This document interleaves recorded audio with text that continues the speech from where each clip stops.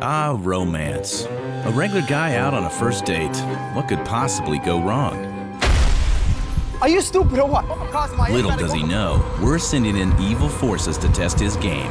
They are called the Gamekillers. You guys are on the date, huh? Well, guess what? Date's over! People whose mission is to keep you from getting the girl. Your abs are insane. I do a lot of crazy stuff with my tongue, actually. All the songs we danced to in high school. Hey, honey, can't believe you brought me flowers. Now, you will see what happens when they are unleashed into the real world. Take it out! Time to play truth or dare! Do these guys have the game to beat them? How you feel? Good. I feel great.